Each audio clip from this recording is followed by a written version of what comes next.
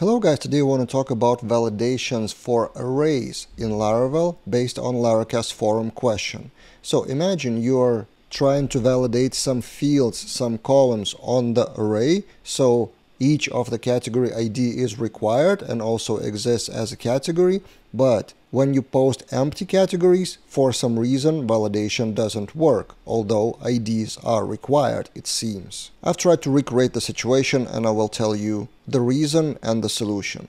So this is the validation for the controller. I intentionally didn't even bother with the database. So we validate the subtasks and a few fields of those subtasks. So name is completed and due date are all required. In my postman, I've recreated that scenario and if we post everything as planned, so name and with at least one subtask with all those three fields, we send and we get the correct result. As I said, it's not even in the database, it's just returning all the input. And as a proof to you that the validation actually works, if we remove the name from the post data, then we, as expected, get 422 status code with the validation. So the validation actually works.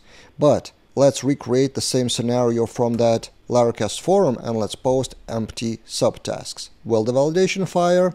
We send, and no, the validation passed through. It returns empty subtasks, although it seems that at least one of those fields are required, or all of them required. But while doing that, we forgot one thing, that the subtasks array should be not empty. So this set of validation rules means that if subtasks are present, at least one of them, then those would be validated. So if we return that JSON and, for example, remove the name from here, send, then the validation would fire with name of subtask is required. But in case of empty array, we don't specifically validate that the array should be present.